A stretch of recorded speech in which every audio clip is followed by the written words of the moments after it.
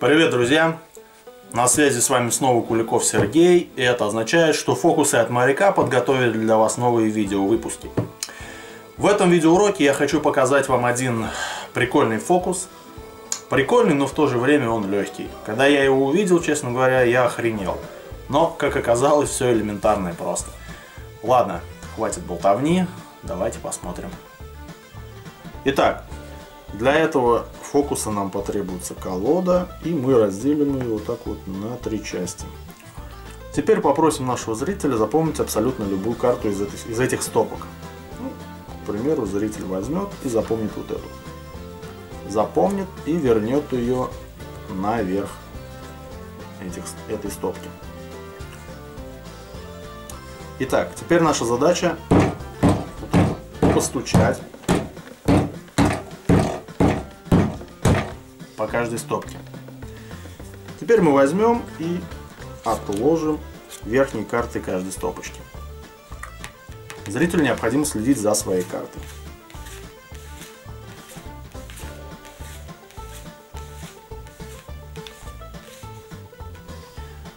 Где карта зрителя?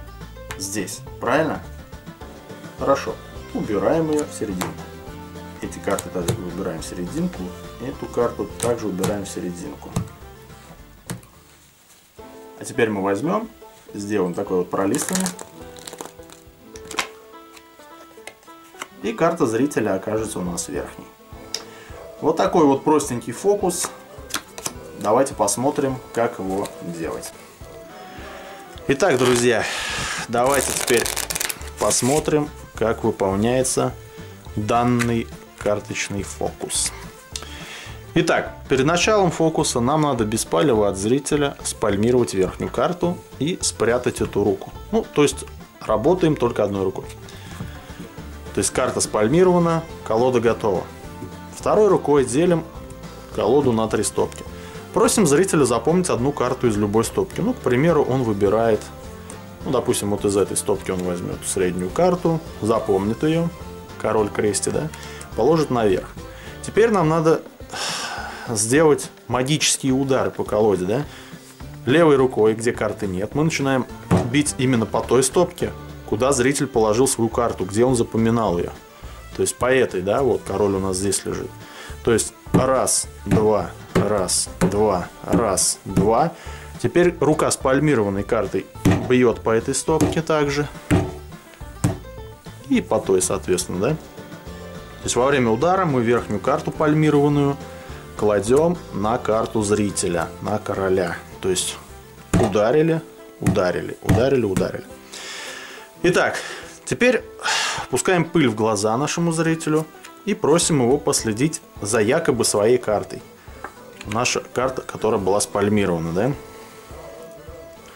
То есть выкладываем верхние карты каждой стопки.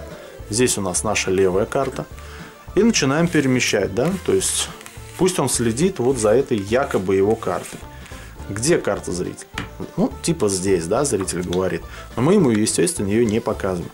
Убираем в серединку, убираем в серединку, убираем в серединку. То есть карта зрителя у нас сейчас так и лежит здесь наверху. Теперь нам что надо сделать? Собрать все стопки в одну колоду. Карта зрителя наверху.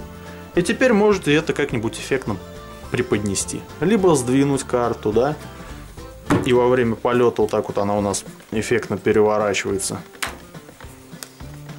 Ну, где-то у меня был такой урок. То есть вот вы бросаете, она в полете у вас переворачивается. Либо во время дриба последнюю карту оставляем, переворачиваем. Или еще как-нибудь преподносите. То есть фокус простенький. Ну, когда я его увидел первый раз, я, конечно, был приятно удивлен, потому что ну, честно говоря, не думал, что такие фокусы с пальмированием можно делать. Итак, на связи с вами был Куликов Сергей и до встречи в следующих видео.